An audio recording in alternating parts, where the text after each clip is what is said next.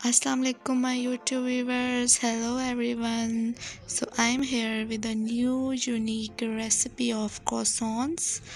और आपको ये रेसिपी बहुत पसंद आएगी आप मुझे लाइक करें शेयर करें सब्सक्राइब करेंगे सो स्टे ट्यून सबसे पहले हम डो तैयार करेंगे flour four cup yeast one tablespoon sugar two tablespoon salt half teaspoon milk हमने ऐड करना है। इसमें वन ग्लास जो कि नीम गर्म होगा और घी होगा हमारे पास टू टेबल स्पून ये सब चीज़ें हमने ऐड करनी है फ्लोर के अंदर।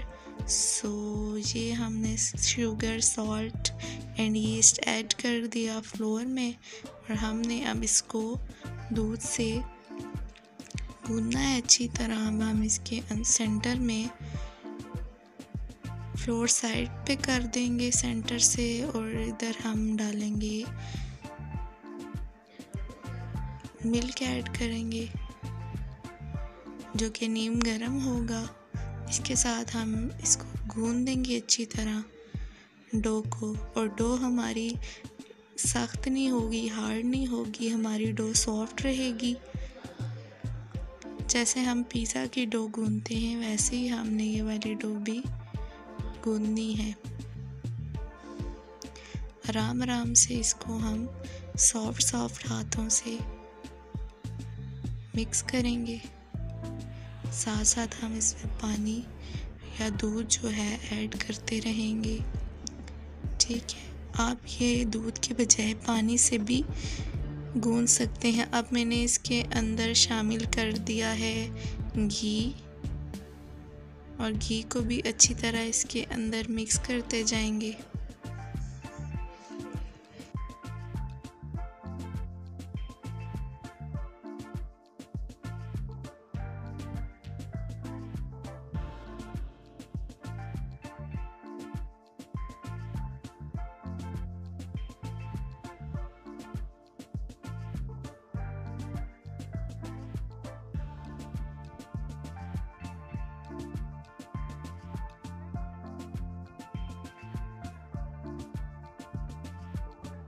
ये देखें जी घी गायब हो गया है हमारा और वो इसके अंदर पूरा एब्जॉर्ब हो चुका है।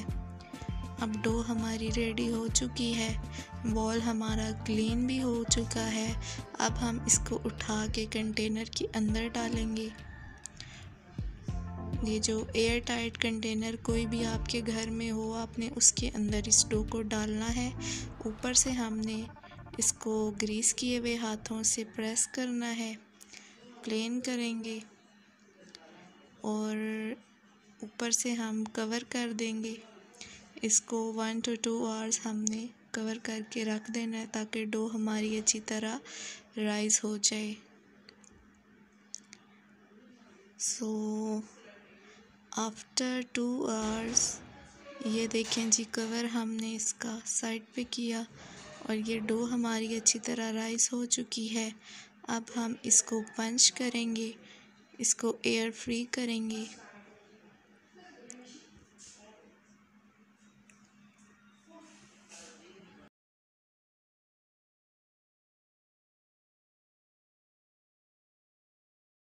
टॉप से इसको हमने ग्रीस किया। अब ये फुल डो हमने उठानी है और अपने काउंटर पे रखनी है। मैदा डस्ट करेंगे। और इसको अच्छी तरह प्रेस करेंगे ताकि ये एयर फ्री हो जाए, इसके अंदर से एयर निकल जाए। काउंटर के ऊपर इसको हमने ऐसे फैलाना है कि हम इसको इक्वल साइज़ में कट कर सकें। का टेबल है काउंटर है, जो भी है, आप उसके ऊपर इसको ऐसे लंबा फैला दीजिए। अब हम इसको इक्वल साइज़ में नाइफ़ की मदद से कट कर लेंगे।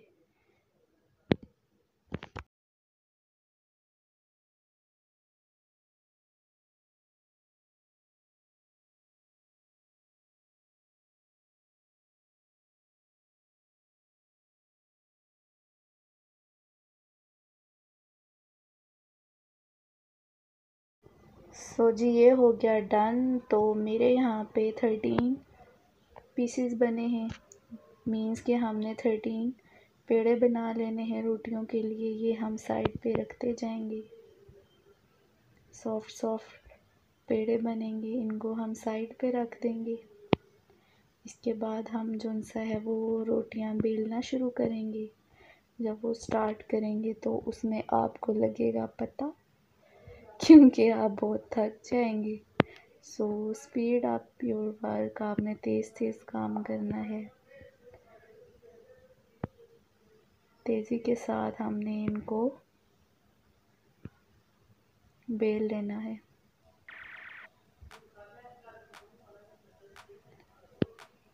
बिल्कुल बारीक बारीक हमने ये रोटियाँ सारी तैयार करके एक साइड पे रख देनी है। ये साइज़ देख लें आप। ये सब रोटियाँ हो गई हैं तैयार। अब हम रखेंगे फ़र्स्ट रोटी। नीचे इसको सेट करेंगे। मैदा डस्ट करके हमने फ़र्स्ट रोटी नीचे रखनी है। उसके बाद हमने इसको ग्रीस करना है घी से। ठीक है, आप बटर से करना चाहते हैं ऑयल से करना चाहते हैं। जिससे भी आपने करना है, जो है आपके पास घर में, आप उसी से इसको ग्रीस कर लें। कोई इशू नहीं है। कम खर्चे में भी आप चीज़ें तैयार कर सकते हैं। अब हम जो सा है, दूसरी रोटी इसके ऊपर ऐसे सेट कर देंगे। ऐसे ही हम ग्रीस करेंगे। इसको भी और इसके ऊपर जो थर्ड वन है, वो हम इसके ऊपर डाल देंगे। ऐसे ही उसको ग्रीस करेंगे और फोर्थ वन डाल देंगे। ऐसे ही हम पूरी थर्टीन रोटियाँ ऊपर नीचे रख देंगे और जो टॉप वाली रोटी होगी, उसको हमने ग्रीस नहीं करना। इसको फाइव मिनट्स के लिए हमने साइड पे रख देना है।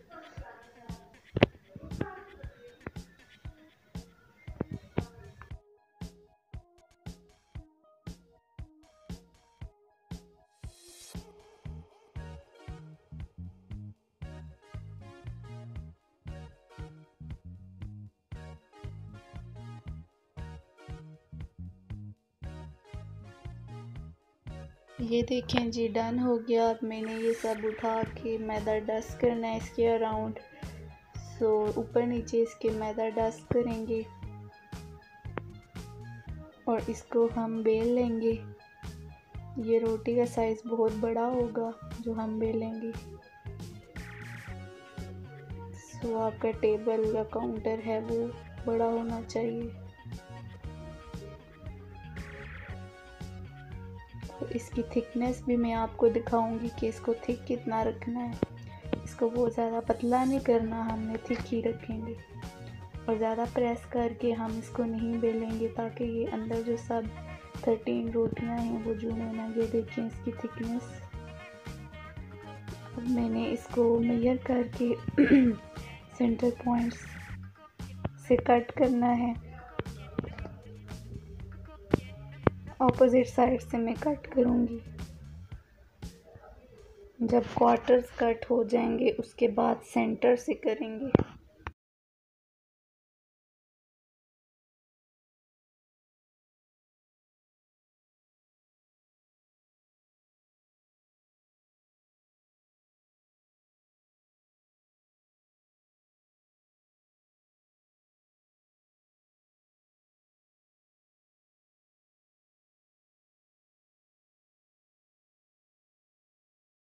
अब हमने उनके सेंटर से भी कट करना है और ये टोटल सिक्सटीन पीसेस बन के रेडी हो जाएँगे।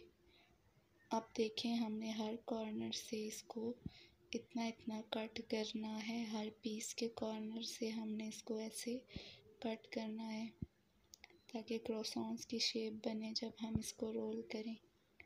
सो अब हम इसको रोल करेंगे अंदर की तरफ़ स्लोली स्लोली ये रोल हो रहे हैं जी। क्रॉसॉन्स और ये हमारा फ़र्स्ट क्रॉसॉन्स रेडी है।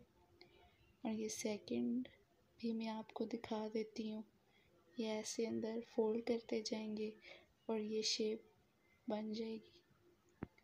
सो ऐसे ही हमने ये सब रेडी करके रख लेने हैं ट्रे के अंदर।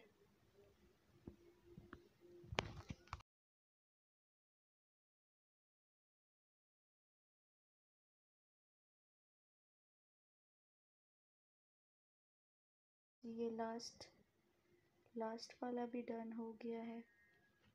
आप देख सकते हैं इन सब की शेप कितनी क्लियर है, कितनी खूबसूरत शेप आई है। अब हम इसको बेकिंग ट्रे में सेट करेंगे। Without greasing that tray so ये हमने सेट करके इसके अंदर रख देने हैं सब क्रोसॉन्स और ग्रीस नहीं करना हमने ट्रे को। ऐसे ही हमने उठा उठा के रखने हैं।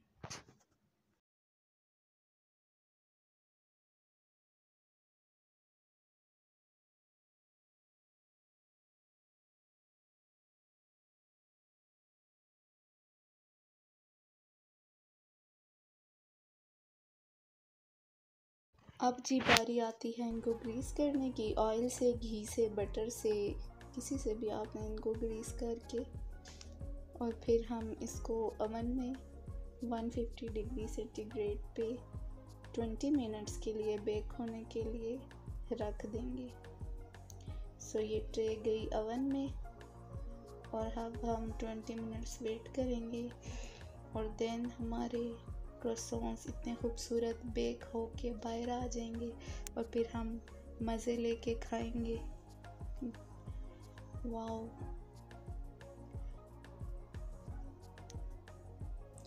इनके ऊपर मैंने एग नहीं लगाया क्योंकि एग की स्मेल बहुत अजीब होती है अच्छी नहीं लगती। सो so, मैंने इसके ऊपर जब ये हाफ़ डन हो गए थे तो मैंने इसके ऊपर केचप अप्लाई किया था जिसकी वजह से ये ऐसे कलर आ गया है हमारा। और आप इसके अंदर भी केचप फिल करके इसको एंजॉय करें। या फिर आप क्रीम भी अंदर फिल करके खा सकते हैं। सो so, मैंने तो इसके लिए फिलिंग तैयार की थी। सो so, ये हमारे क्रोसॉन्स तैयार हो चुके हैं। लेकिन अभी इनकी फिलिंग बाकी है। सो so, अब हम चलते हैं जी फिलिंग की तरफ़। और फिलिंग बनाने से पहले एक चीज़ के जब हम इसको ओवन से बाहर निकालेंगे तो हम इसको रैक पे रख देंगे ताकि ये हवा लगे इसको और ये अच्छी तरह क्रिस्प हो जाए। ये देखें जी, चेक करें इसका क्रिस्प। वाओ, ज़बरदस्त। सो ऐसे इनको रैक पे रखना है हमने, कूलिंग रैक पे। सो फिलिंग के लिए वन कप मैंने ऐड किया मिल्क पैन में। उसके अंदर मैंने ऐड की three tablespoon sugar. So इसके बॉयल आने का वेट करेंगे हम। इसको लो फ्लेम पे हमने कुक करना है।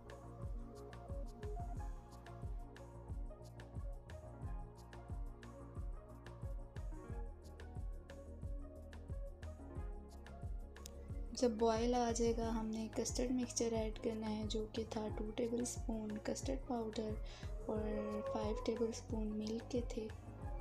सो इसके अंदर ऐड करेंगे। और ये थिक होगा तो हम इसका जो फ्लेम है वो ऑफ़ कर देंगे।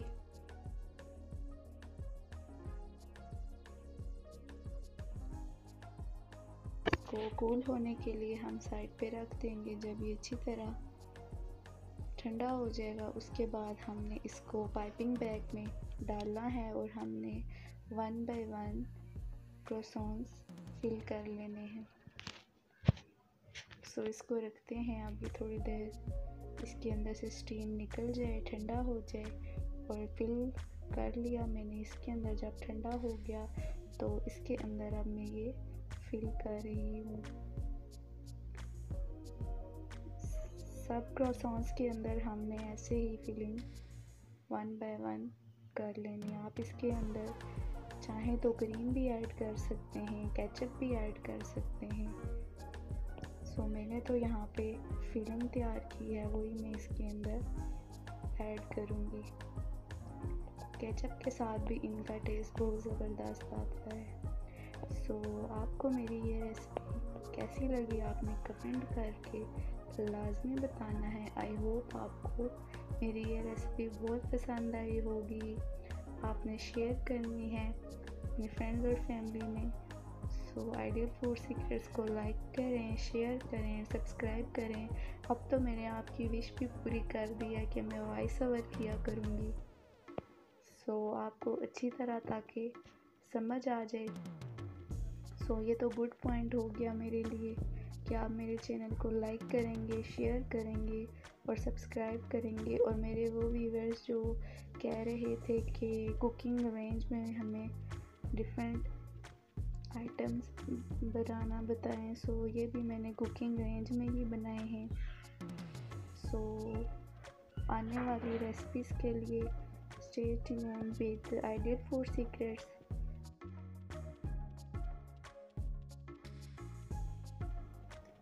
मिलते हैं जी नेक्स्ट वीडियो में। तब तक के लिए अल्लाह हाफिज़। दुआओं में याद रखिएगा। Thank you